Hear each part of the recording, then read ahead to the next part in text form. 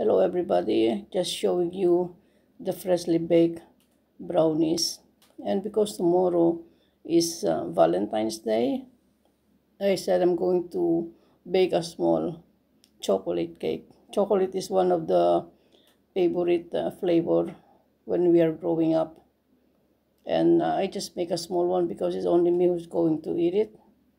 I flavor it with um, preserved uh, cherries these are special cherries that usually they preserve it in liquor and uh, normally they use it for making cocktails. I love to, to place it in my, my baking, especially when it is with chocolate. It gives a special taste.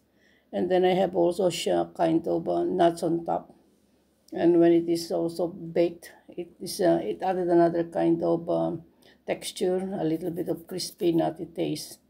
This will be very good when you drink a black coffee without sugar and or a cup of tea. And and for the rest